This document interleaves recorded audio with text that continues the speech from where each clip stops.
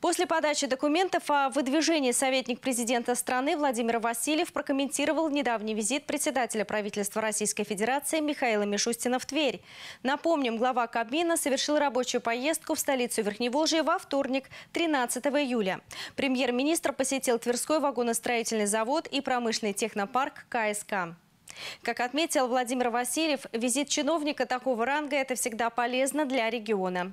Михаилу Мишустину показали новую продукцию транспортной промышленности, познакомили с работой одного из крупнейших технопарков, а также рассказали, как работает новая модель пассажирских перевозок, запущенная в Тверской агломерации больше года назад и постепенно охватывающая новые города области. Именно это направление работы региональных властей во главе с губернатором Игорем Рудени подчеркнул Владимир Васильев Васильев вызвало у премьер-министра наибольший интерес. Существенно выросли сборы. Существенно, самое главное, выросли перевозки.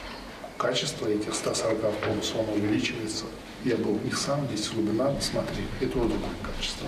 Я многие годы посвятил безопасности. К счастью, сейчас позиция президента, это работа, которая проводится, знаете, сейчас это для нас не актуально, потому что и в Сирии, и на убеждение работает система. Спасибо огромное силовикам, всех, кто делает.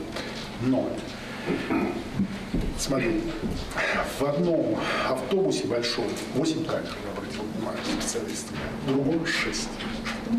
И что интересно, кражи нет, понимаете, безопасность, видно кто, что и чего.